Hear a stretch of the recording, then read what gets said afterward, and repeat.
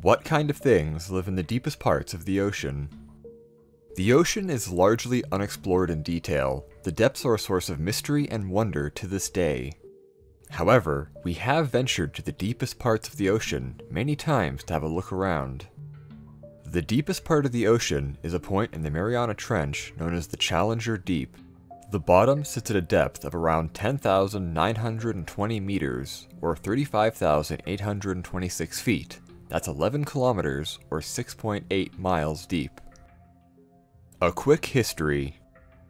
The Challenger Deep is named after the first ship that discovered it, the Royal Navy HMS Challenger, during a scientific expedition in 1875.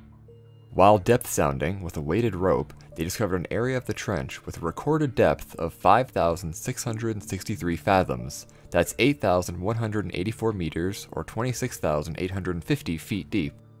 In 1957, another Royal Navy ship on a scientific expedition named the HMS Challenger 2 recorded the area with an echo sounder, discovering the true depths of the depression. Many more ships visited and studied the Challenger Deep with echo sounding, but it wasn't until the 23rd of January 1960 that humans first dared to reach the basin in person. Diving the Depths New technology in deep-sea vehicles permitted the exploration of the deepest portions of the ocean. One such vehicle is known as a bathyscaphe, an improvement on the tried-and-true bathysphere design. With a crew compartment hanging under a float filled with gasoline, a bathyscaphe can be viewed as an underwater blimp of sorts. The gasoline float provided buoyancy, but being a liquid was incompressible. The vehicle would sink thanks to heavy ballast, to ascend, the ballast is dropped, allowing for the vehicle to naturally float back up to the surface. The first bathyscaphe to explore the Challenger Deep was the bathyscaphe Trieste, with Jacques Piccard and Don Walsh on board. The dive took 4 hours and 47 minutes to reach the floor of the Challenger Deep Basin.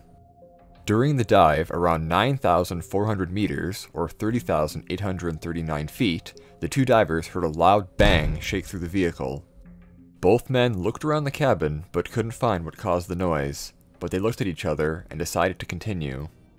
Reasoning the pressure was so strong outside that if something had failed critically, they would both be dead before they had any time to realize what went wrong.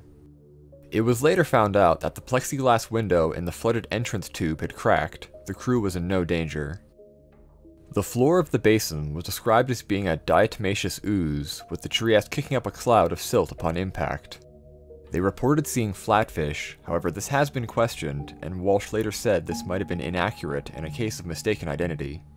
Since the Trieste, there have only been a handful of other crewed missions to the Challenger Deep, each one giving us new insights and discoveries. What lives in the abyss? Media likes to paint the dark depths as a place of giant monsters, however this is the opposite of reality.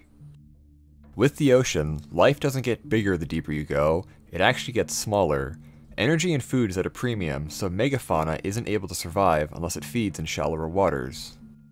The first lifeforms discovered in Challenger Deep were microbes dredged up by the Challenger. The mystery creature observed by the Trieste has been speculated to have been a sea cucumber instead of a flatfish, as sea cucumbers have been found in later explorations. Among the animals observed have been scale worms, shrimp, and polychaete worms. Sea monsters in their own right, but not very big or grand. One recent mission even found the most depressing thing imaginable at the deepest point on Earth a plastic bag. Unseen monsters?